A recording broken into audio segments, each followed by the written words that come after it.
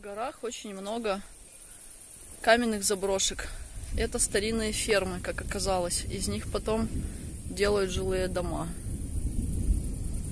А мы продолжаем наш путь домой. Просто тут все дождь никак не прольется. Идемте, други. Это поливалка. Поливает наше озеро и часть нашей горы. А Монте Балерину еще не поливает. Но скоро и до нее доберется. А мы почти наверху шли. Еще чуть-чуть. И будем дома кушать плов. А Дживс будет лежать на своей софе вылизываться. Дождь в разгаре. Мы пришли домой.